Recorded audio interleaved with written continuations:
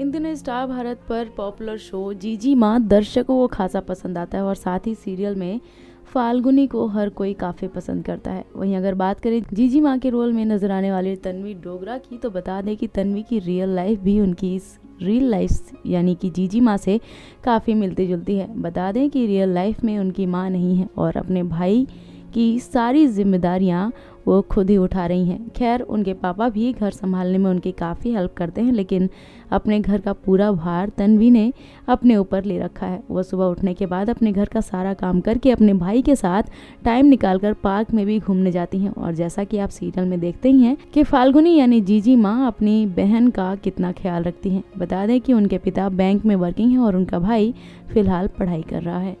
Next nine life से जानने की रिपोर्ट।